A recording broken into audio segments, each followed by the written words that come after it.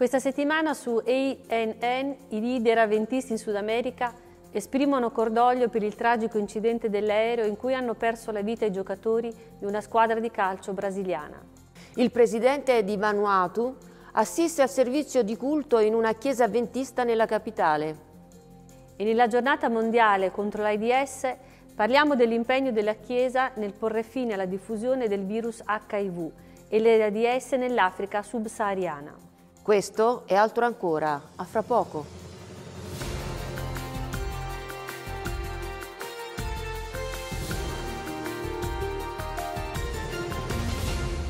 Benvenuti su ANN, un servizio della Chiesa Cristiana Adventista Mondiale, in collaborazione con il Dipartimento Comunicazioni dell'Unione Italiana.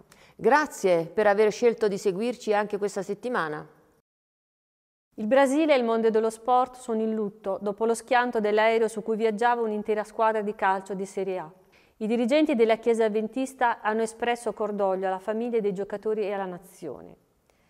I 77 passeggeri del volo erano in maggioranza membri della squadra brasiliana, oltre a giornalisti diretti a Medellin per la finale della Coppa Sudamericana.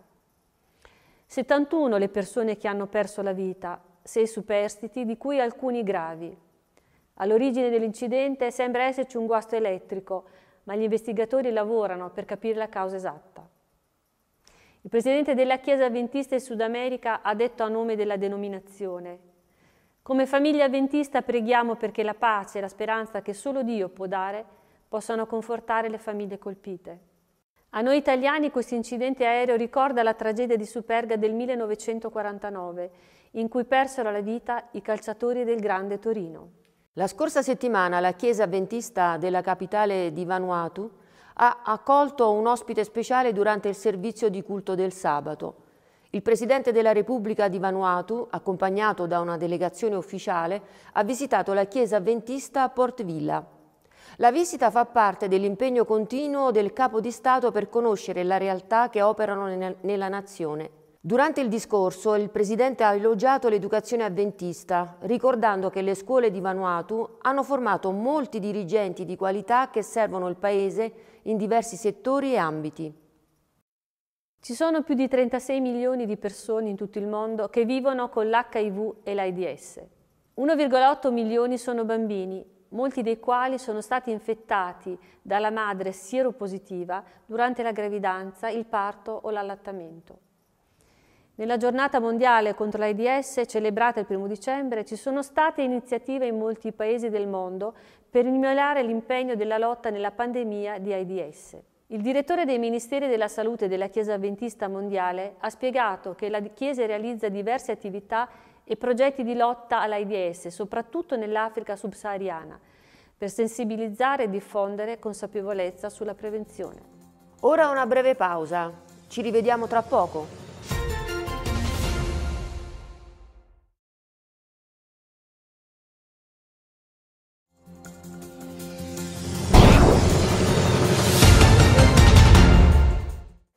To Jesus, ritorna all'essenziale. Questo è il titolo del congresso spirituale Wicca 2017 dal 21 al 24 aprile. La riforma protestante non è solo un evento storico, ma un nuovo modo di concepire la Chiesa in funzione di un ritorno all'essenziale, della disponibilità a rivedere le proprie abitudini di fede e a impegnarsi più concretamente nel mondo. Prossimamente altre notizie.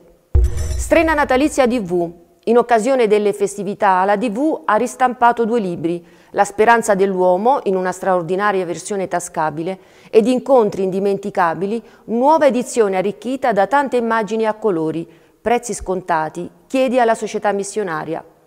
Un Natale solidale fa bene alla salute. Adra Italia e la Fondazione Vita e Salute stanno collaborando insieme in un nuovo progetto che va oltre la semplice distribuzione alimentare, Donando ai vostri cari uno o più prodotti aiuterete chi è stato colpito dal terremoto poiché i prodotti inseriti nei pacchi provengono da agricoltori delle zone terremotate. Chiedi al responsabile della società missionaria della tua chiesa. Scuola del sabato, primo semestre 2017.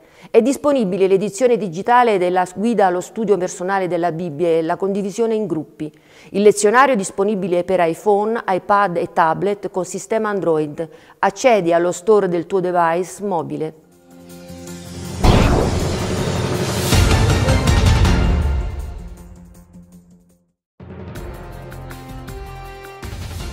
Bentornati!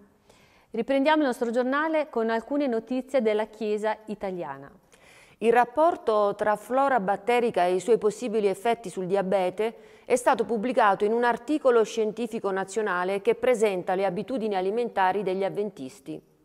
Lo studio è stato pubblicato il 14 novembre sull'importante rivista scientifica Nature Communication. La rivista britannica è considerata uno dei pochi periodici accademici che pubblica ricerche originali in diversi campi scientifici e ha un'utenza online di 3 milioni di lettori mensili. La rivista ha individuato una relazione tra il sistema immunitario e la flora batterica intestinale e il metabolismo del glucosio, si è scoperto che vi è una differenza nella quantità di uno specifico batterio nell'intestino in persone diabetiche rispetto a quelle con prediabete e a coloro che hanno un normale metabolismo del glucosio. Lo studio ha valutato 94 avventisti brasiliani di età compresa tra i 35 e i 65 anni. Quello pubblicato è il primo di una serie di articoli sulla dieta alimentare degli avventisti di San Paolo. L'Università Avventista Oakwood, nello stato americano dell'Alabama, ha celebrato 120 anni. Tra i tanti eventi in programma è stato inaugurato un centro di lingue e risorse bibliche. Il centro promuove l'apprendimento e l'uso delle lingue bibliche e offre risorse digitali agli studenti. In 120 anni l'università ha dato l'impulso alla missione educativa avventista e formato professionisti cristiani competenti. La prima classe della scuola, quando fu aperta, era il 1896 era composta da 16 studenti. Oggi l'università conta circa 1700 iscritti. In Mozambico la grave siccità ha portato carestia e insicurezza alimentare a 1,4 milioni di persone. Per questo l'agenzia ADRA del paese sudafricano ha realizzato un programma alimentare di cui hanno già beneficiato 10.000 abitanti. Era l'ultima notizia. Grazie per essere stati con ANN. Nel frattempo seguiteci anche su Facebook e Twitter con notizie, foto e video sempre aggiornati.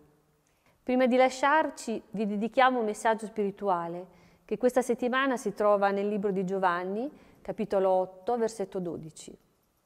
Il testo dice, Gesù parlò loro di nuovo dicendo, io sono la luce del mondo, chi mi segue non camminerà nelle tenebre, ma avrà la luce della vita. Ora è proprio tutto e ricordate che ci troviamo su news.avventisti.it con notizie sempre aggiornate. Alla prossima settimana e che Dio vi benedica. Arrivederci.